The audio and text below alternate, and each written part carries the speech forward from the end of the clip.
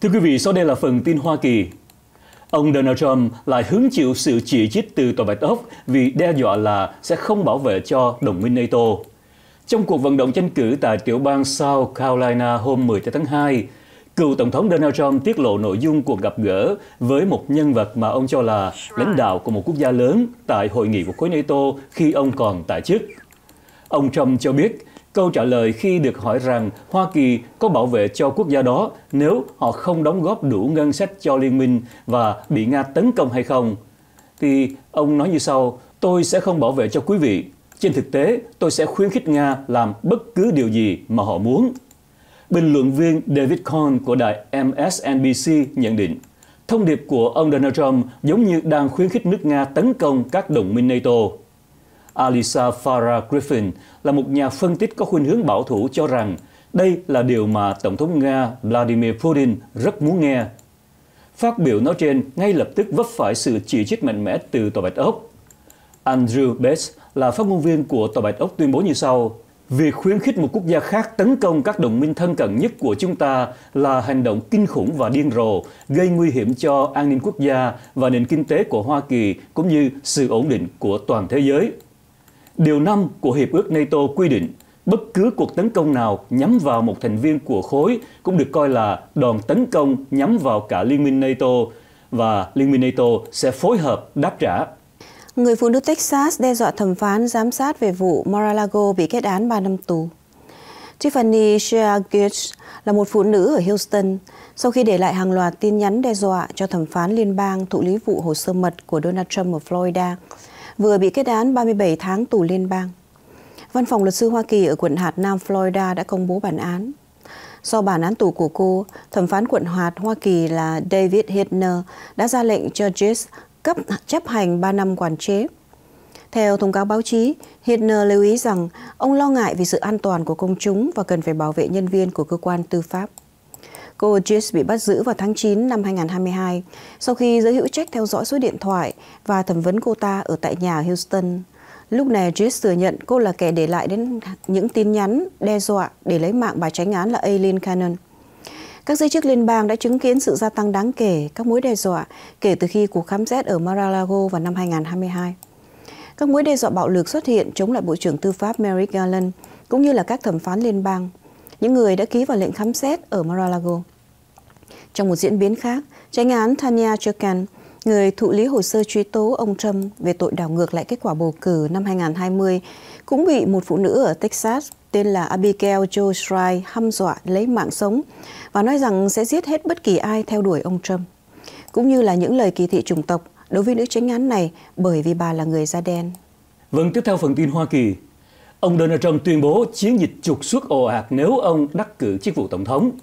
Hãng thông tấn AFP mới đây đưa tin, cựu Tổng thống Donald Trump vui mừng vì dự luật nhắm vào người nhập cư tại khu vực biên giới với Mexico bị sụp đổ, trong khi ông cam kết ông sẽ tiến hành chiến dịch trục xuất ồ ạt vào ngày đầu tiên nếu ông tái đắc cử.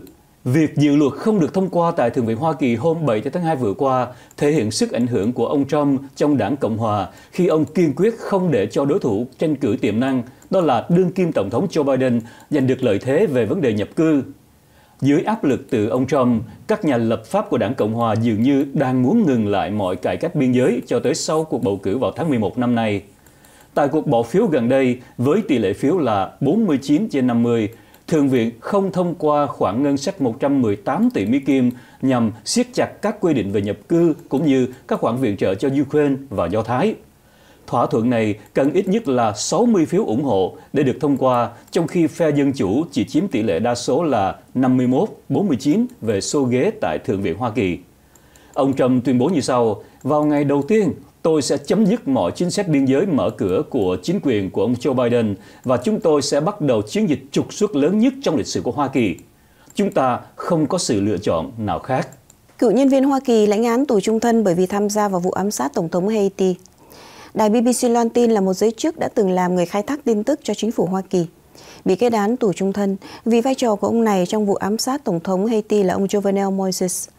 Tổng thống Moises bị bắn chết ở tư gia ở Port-au-Prince hồi năm 2021.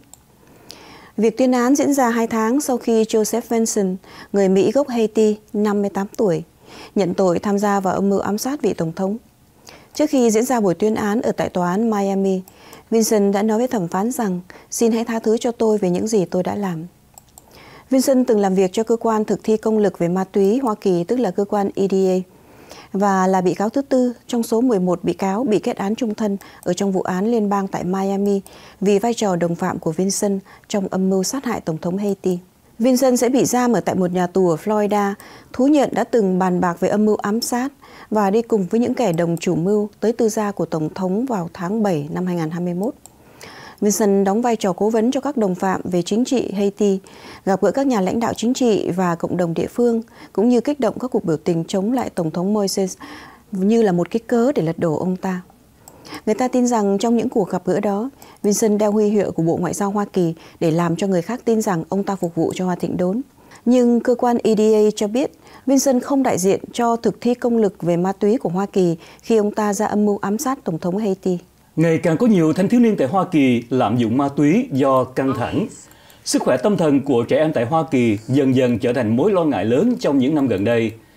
Các nhà lãnh đạo về sức khỏe thanh thiếu niên đã từng ban bố tình trạng khẩn cấp quốc gia về sức khỏe tâm thần trẻ em và thanh thiếu niên trong năm 2021. Một cuộc phân tích hồi gần đây của Quỹ Gia đình Kaiser cho thấy cứ năm thanh thiếu niên thì có một người có các triệu chứng về lo âu hoặc trầm cảm và nhiều người không nhận được liệu pháp điều trị mà họ cần đến.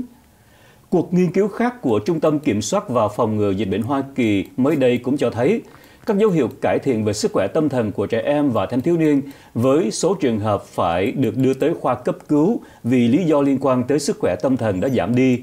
Nhưng đây vẫn được coi là một trắc trở về sức khỏe cộng đồng nghiêm trọng, đặc biệt là ở các thiếu nữ. Việc giúp đỡ và cải thiện sức khỏe tâm thần có thể có tác động trực tiếp tới việc sử dụng chất gây nghiện ở thanh thiếu niên tại Hoa Kỳ. Những thanh thiếu niên được đánh giá nhằm điều trị chứng rối loạn sử dụng chất gây nghiện được yêu cầu làm rõ động lực sử dụng ma túy và rượu. Có khoảng 9.500 câu trả lời được thu thập từ năm 2014 tới năm 2022. Lý do phổ biến nhất mà thanh thiếu niên cho biết rằng họ tìm đến ma túy và rượu là để cảm thấy khuây khỏa, nhẹ nhõm hơn hoặc là làm cho tinh thần thư thái hơn với gần 3 phần tư số trường hợp đều là các nguyên nhân này. Nhiều lý do hàng đầu khác còn liên quan tới các phương pháp đối phó với căng thẳng. Trong đó, 44% cho biết rằng họ sử dụng chất kích thích để không cảm thấy lo lắng về một vấn đề nào đó hoặc là để quên đi những ký ức đau buồn. 40% cho biết rằng họ sử dụng chất kích thích để giảm trầm cảm hoặc âu lo. Phi cơ rớt xuống xa lộ Florida khiến cho hai hành khách thiệt mạng. Một phi cơ nhỏ đã rớt xuống xa lộ phía nam của Florida mới đây, làm cho hai hành khách bị thiệt mạng. CBS News dẫn lời của ông Robin King là phát ngôn viên của phi trường Naples cho hay ba người trên phi cơ thoát được ra ngoài. Cơ quan hàng không liên bang tức là FAA xác nhận chiếc Bombardier Challenger 600 chở 5 người đã rớt xuống xa lộ I-75 gần thành phố Naples khoảng chừng 3 giờ 15 phút chiều vào cuối tuần qua. Video do nhân chứng quay được cho thấy phi cơ bị bốc cháy ở trên đường và khói đen bốc lên cuồn cuộn. Theo trang mạng theo dõi chuyến bay là FlyAware, chiếc phi cơ này là của công ty Hope Ajet Worldwide Charter ở Fort Lauderdale. Phi cơ cất cánh từ phi trường Đại học Ohio State University ở Columbus của Ohio khoảng chừng 1 giờ trưa, và theo lịch trình thì sẽ đáp xuống Naples khoảng chừng 3 giờ 10 phút chiều ngày thứ Bảy. Sau đó thì phi cơ sẽ bay tới Fort Lauderdale. Cơ quan liên bang FAA và Hội đồng An toàn Giao thông Vận tải Quốc gia sẽ điều tra vụ việc này.